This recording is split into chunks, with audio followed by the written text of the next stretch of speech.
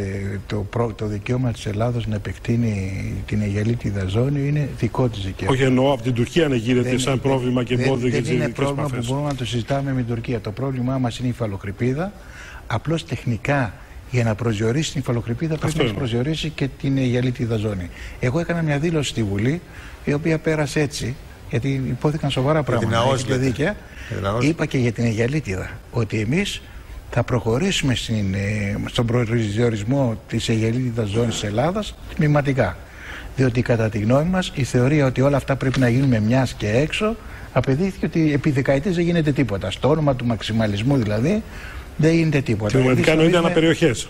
θα το δούμε αυτό. Εμέ- Εγώ νομίζω ότι πρέπει να ξέρετε ότι με βάση το διεθνές δίκαιο κάθε επέκταση της Αιγαλίτιδας ζώνη, π.χ. από τα 6 στα 12 μίλια, σημαίνει επέκταση του χώρου κυριαρχίας της Ελλάδας. Διότι η διαφορά μεταξύ ΑΟΣ και Αιγαλίτιδας ζώνης είναι ότι η Αιγαλίτιδα ζώνη, το λέω εσείς τα ξέρετε, ναι. αλλά οι ακροατές που μας ακούνε, είναι ότι η ΑΟΣ είναι δικαιώματα, δεν είναι κυριαρχία. Κυριαρχία έχει στην Αιγαλίτιδα ζώνη. Και πρέπει να ξέρετε ότι η Αιγαλίτιδα ζώνη έχει μεγάλη σημασία για τον προσδιορισμό της ΑΟΣ με όλες τις χώρες. Παραδείγματος χάρη ιδιαίτερα με την ε, Αλβανία. Έχει σημασία. Αν ξεκινήσεις να προσδιορίσεις την ΑΟΣ Τα 12 μίλια. για- από τα 6 ή από τα 12 μίλια έχει σημασία ακόμα και για την Ιταλία και για τα δικαιώματά της που, έχει, που θεωρεί ότι έχει παραδοσιακά πάνω στην Αλία. Ξέρετε, οι Ιταλοί ψαράδες ψαρεύουν πάρα πολύ εντατικά ανάμεσα στα 6 και στα 12 μίλια. Άρα η αλήτιδα ζώνη και τα κυρίαρχά μας δικαιώματα και συμφέροντα είναι υψής σημασίας προς όλες τις πλευρές. Και η ελληνική πολιτεία έχει έτοιμα, το, έτοιμο το πώς θα μεθοδεύσει όλη αυτή τη Άρα διαδικασία. τα Λέω Γιώργα, ε, πες μου λέω πώς θα καταλάβω ότι είμαστε κοντά στον πόλεμο. Κάνα σημάδι να μου πεις έτσι εκεί πέρα. Κοίταξε πολύ, όταν ακούς την τηλεόραση να γίνεται θέμα για τα μίλια, για την επέκταση των μιλίων αυτή τη ζώνη. Ε, όταν θα ακούς την tηλεόραση να το σχολιάζουν, να το θέτουν στο τραπέζι των διαπραγματεύσεων. Ama şu anda hala Ege'de kıta sahanlığı ne olacak? Να, μάλλον θα μας βάλει τώρα η όξαν σύνορα της Ευρώπης δηλαδή, τα ελληνικά, να θέσουν, να ξεκαθαρίσει το θέμα αυτό για να είναι ευρωπαϊκά σύνορα η επέκταση αυτή των μίλιων. Ναι. Σε να γίνουν 12. Λέει μόλις το δεις να γίνεται, να συζητιέται, να κάνει, αμέσως έρχεται ο πόλεμος, θα ακολουθήσει.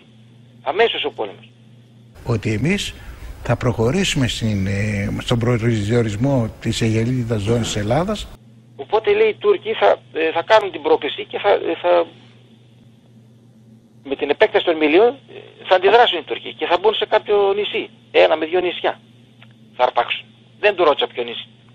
Ε, Και εύλογο δεν θα απαντούσε γιατί μπορεί να άδειαζε το νησί.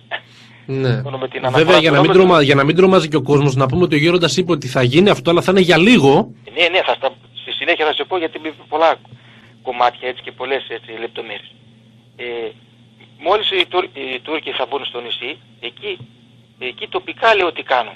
Λέω Γιώργο εγώ στην Αλεξανδρούπολη τώρα δεν θα γενικευτεί ο πόλεμος, θα πιάσει δηλαδή και στεριά και αυτό, όχι μόνο, μόνο εκεί, τοπικά στο νησί. Γιατί βγήκαν κάτι και γέροντες και προφητείες και τέτοια και ένας γέρος από την Κρήτη και θα φτάσουν μέχρι Θεσσαλονίκη και αυτό και στεναχωριόταν οι γέροντες έτσι όταν έλεγαν για αυτά για τα εξαμίλια ότι είναι κάποια, κάποια μέρη με το όνομα αυτό και οι Τούρκοι θα φτάσουν μέχρι εκεί. Και στεναχωριόταν και τους ε, μάλλον δηλαδή όπου ε, άκουγε να γίνονται τέτοιες αναφορές. Γιατί τρομάζουν τον κόσμο. Ε, να- Ε, οπότε λέει κάποιους μήνες λέει οι Τούρκοι θα κρατήσουν λέει, το, το νησί.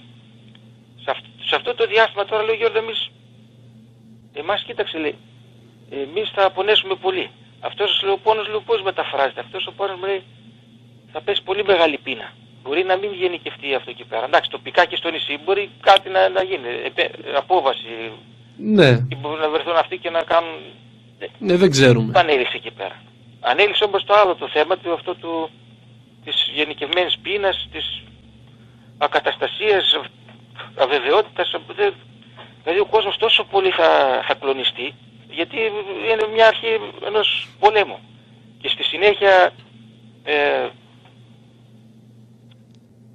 αναφέρει ότι μετά από κάποιο, κάποιους μήνες κατοχής του, του νησιού θα βγουν οι Ρώσοι λέει από, από τη Ρωσία μέσα από τα στενά. Δηλαδή θέλουν διέξοδο ε, προς την, Προς τη Μεσόγειο. τη Μεσόγειο. Και, και χρειάζονται τα, τα στενά εκεί πέρα γιατί τους φόρους και τέτοια οι Τούρκοι κάνουν όλο έτσι Ναι. διάφορα αυτά.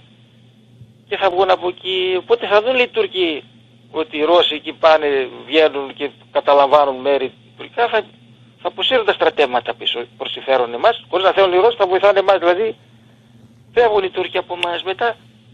Γίνεται μέσα στην Κωνσταντινούπολη έτσι ένα αυτό, θα δουν μετά άλλοι τα άλλα τα κράτη, 6-7 κράτη λέει ευρωπαϊκά ότι εκεί οι Ρώσοι θα αρπάξει μέρη σημαντικά και θα πούνε αυτοί. Δεν πάμε κι εμείς εκεί πέρα μήπως πάρουμε κι εμείς κάνα κομμάτι, κάνα αυτό. Θα το, το έλεγε έτσι πρακτικά και Ναι, απλά κατανοητά. κατανοητά. Θα μπουν και οι Ευρωπαίοι στον πόλεμο. Λέω σε αυτό το σημείο όταν λέω «Εμείς τι θα κάνουμε, ο ελληνικός στρατός λέει, θα πάρει μέρος σε αυτόν τον πόλεμο. Όχι μου λέει. Θα βγάλει η κυβέρνηση απόφαση τότε ποια θα είναι, δεν την ανέφερε, όποια είναι, να μην στείλει στρατό. Εμείς θα κρατάμε στρατό μόνο στα σύνορα. Και θα είναι μεγάλη ευλογία που δεν θα πάρουμε μέρος. Γιατί όποιος πάρει μέρος χάθηκε. Δηλαδή δεν θα επιστρέψει νικητής από εκεί πέρα. Όλοι θα, θα, σκ- θα σκοτώσουν, να τους βάλω Θεός να φαγωθούν μεταξύ τους. Θα λειτουργήσουν πνευματικοί νόμοι.